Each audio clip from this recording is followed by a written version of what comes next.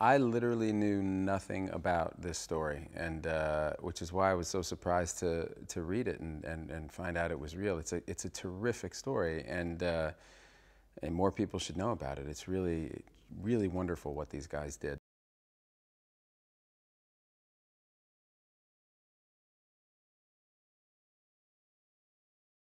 James Granger, who I play, um, who's uh, based on a real guy, is, uh, is, a, is a, one of the curators at the Met in New York. And he's restoring a piece of art when we meet him. And, uh, um, and uh, his friend Frank Stokes, played by George Clooney, uh, who works up at the Fogg Museum up at Harvard, uh, it turns up in a, in a military uniform, which is not uh, what Granger would be expecting, and uh, and uh, and and tells them, you know, what he's what he's signing them up to do, basically, and and.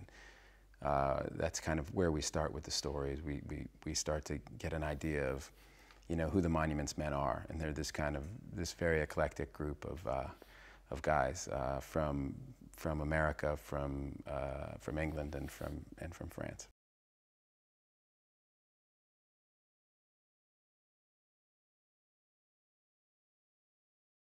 She just has this chameleon-like ability to inhabit other other people uh, in, in a way that's that's somehow more striking and alarming to me as a professional actor than than anybody else I watch.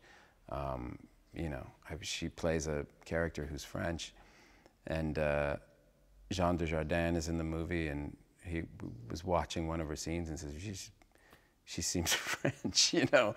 And so it's when you're playing somebody from another country, uh, speaking at times another language, and then speaking English with the, that accent, and, and you're fooling one of the great actors from that country, um, I think you're operating at a pretty high level.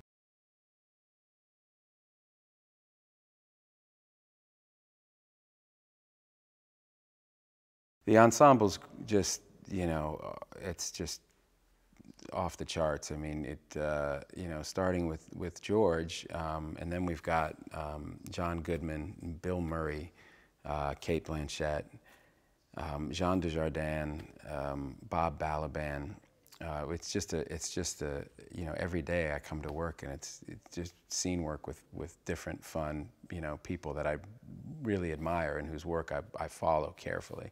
So so that part of it's just been fun. It's one of those jobs where you know, I said early on, you know, to George, just uh, I'm just going to smell the roses because I this this is as good as it gets. It's, you know, when you when you're when you're doing something with a director that you that you have complete faith in, with a script that's great, um, and with a cast that's that's this top notch. It's just, um, you know, it do, it doesn't feel like working.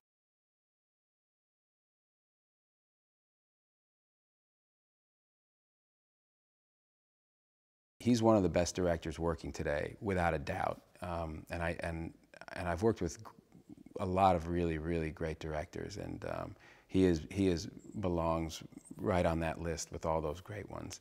Um, he really knows what he's doing, and uh, you know, and on top of that, he you know it, it the, you know the set is actually um, you know it's a fun place. You don't have anybody melting down or going crazy. It's actually a really fun environment, and everybody's relaxed, and he puts everyone in a position to do their best work. And so, there's nothing for anybody to be nervous about. So, it's a really, it's a really, you know, like I said, it was one of those smell the roses jobs for me because it's a, it's a, a great place to come to work every morning.